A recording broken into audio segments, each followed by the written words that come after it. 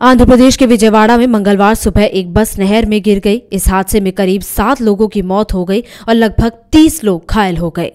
Police के मुताबिक मरने वालों और घायलों की संख्या में इजाफा हो सकता है, क्योंकि बस बुरी तरह से क्षतिग्रस्त हुई और कई लोग अंदर फंसे हुए हैं।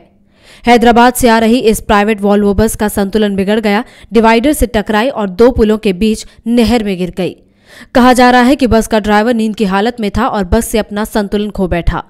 उप मुख्यमंत्री एन चिन्ना राजप्पा ने पुलिस को बचाव कार्य में तेज़ी करने के आदेश दे दिए हैं। घायल यात्रियों को इलाज के लिए अस्पताल ले जाया गया है।